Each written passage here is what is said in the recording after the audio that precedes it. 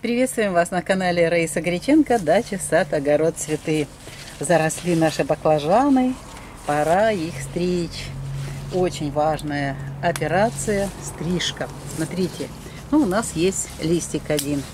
Мы работали гаупсином форте, видите, как сработало. Здесь были уже, видимо, невидимо, а точно э, вот сидели споры грибковых заболеваний, и вот как работает гаупсин форте. Ну, а теперь самое главное – это урожай. А чтобы получить урожай, нужно убирать пасынки. Вот смотрите, снизу у нас тут практически никаких. Вот есть баклажан, один баклажан. Но вот у нас пасынок, который будет забирать на себя питательные вещества. Конечно, раньше надо было его срезать, но у нас было время, которое нельзя было резать. Смотрите дальше, по этому это у нас тоже пасынок. Здесь у нас баклажан растет, а здесь пасынок. И мы тоже его обрезаем. Вот, обрезали. Получается у нас на этом стебле есть уже два баклажана. Дальше идем, формируется, смотрите, до верха. Просто вот как пример, чтобы вы видели. Здесь тоже вот как бы, чтобы показать. Вот смотрите, здесь пасынок маленький под плодом. Его легко выломать. Вот так. И здесь идем дальше. Смотрите, здесь будет плод. Ну, пасынок. Для того, чтобы он большим не рос, мы его сразу же удаляем. Идем дальше, до верха. Здесь у нас тоже будет плод. А здесь пасынок, который будет брать на себя питательные вещества, мы сейчас его можем срезать. И получается, что у нас вот эта веточка, этот побег сформирован теперь правильно. Здесь будут работать у нас уже все питательные вещества будут идти на плоды. Листьев достаточно. Теперь смотрим вот эту веточку у нас. Видите, она у нас пасынок остался. Э, ну вот снова же здесь пасынок, он будет тянуть на себя. Мы его убираем. И здесь очень интересная ситуация. Вот смотрите, два цветочка. Очень красивые цветочки. Я люблю, они такие фиолетовые, нежные.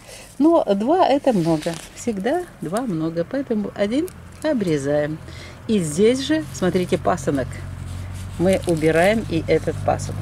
Его можно только вот так легко пальцем убрать. Вот. И вот это, этот побег оставим. Здесь внизу пасынок убираем.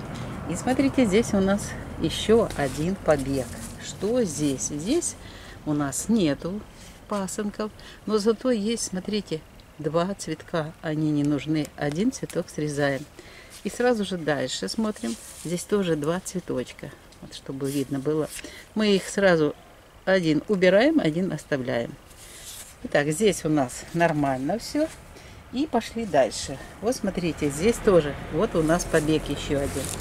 Внизу, вот здесь есть пасынок. Если его не трогать, то он будет расти, может пойти в рост. Они так любят это дело. Теперь смотрим здесь, что у нас здесь. Здесь уже на пасынке, смотрите, какой плод. Оставляем уже. Вот, а здесь нужно убирать. Сейчас мы вот таким образом, вот чтобы видно было. Вот смотрите, Здесь у нас будет плод, цветочек, и мы сделаем обрезку пасынка. То же самое здесь у нас. Видите? Плод, а внизу у нас пазухи листьев, обязательно пасынок. Можно и сразу и здесь посмотреть, что у нас здесь. Здесь пока ничего не видно. Здесь оставляем. Получается, здесь тоже побег у нас есть. Все тут правильно сделано. А вот здесь так, чтобы видно было. Значит, смотрите, здесь у нас, вот он. Видите, на побеге внизу, мы его только сейчас смотрели, здесь очень красивый плод. Но здесь пазухи листьев, листочка, ниже пасынок. Мы его обрезали. И здесь тоже будет нормально формироваться все. Дальше еще побег есть у нас здесь баклажанчик формируется. Здесь, смотрите, красиво цветочек. Но здесь пасынок внизу. Я так рассказываю, потому что все время вопросы, как же это его найти. Всегда обычно, когда идет э, побег, ну, здесь, видите, заканчивается.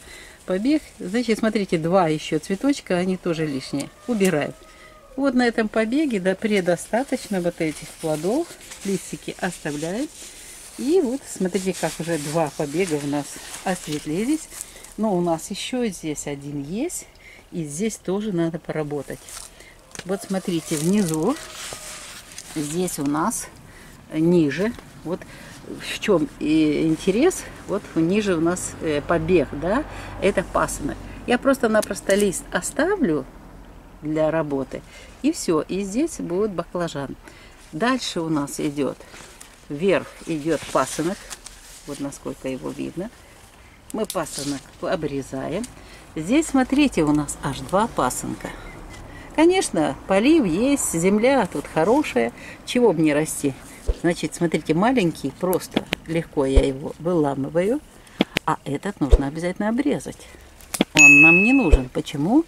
А потому что, смотрите, дальше. Дальше у нас идет формировка.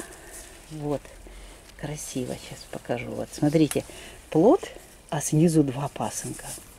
Значит, нижний пасынок вот этот можно легко пальчиком вот так его убрать. Вот. А этот мы обрезаем.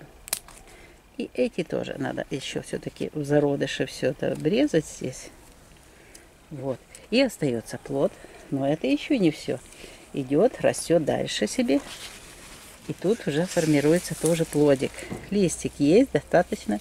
Мы можем просто вот здесь пасынок обрезать. И оставляем дальше для того, чтобы баклажан рос. Вот этот кустик у нас получился, смотрите, весь уже мы все лишнее убрали. Для баклажанов теперь предостаточно энергии, чтобы они росли и формировались. Раиса Горяченко, Александр Волик показали, как мы вот уже на следующем этапе. Кстати, мы уже два, дважды собирали урожай. Первый внизу королевский был. Далее мы на баклажаную икру уже собрали. Это у нас уже третий. И вот у нас сейчас третья волна, и мы работаем над тем, чтобы эта волна была тоже хорошей. Ну, естественно, кроме обрезки, будет у нас обязательно подкормочка в тельце. Это будет 21 э, июля по листьям нужно будет подкормить. Э, обязательно им нужно дать комплекс всех удобрений. У нас есть овощные органические удобрения, и мы их обязательно подкормим. И обязательно следим за тем, чтобы они не заболели и чтобы не было вредителей. Вчера мы обработали скарада М против вредителей, ну а теперь остается через несколько дней мы обработаем снова же фитодоктором, потом триходермином и так будем э, постоянно э, чередовать вот эти все обработки для того, чтобы сохранить как можно дольше растений и получить как можно больше урожай баклажанов. Мы прощаемся с вами, работали над видео как всегда. Раиса Гольченко и Александр Волик. Мы прощаемся. Всего-навсего до следующего видео. Пока-пока.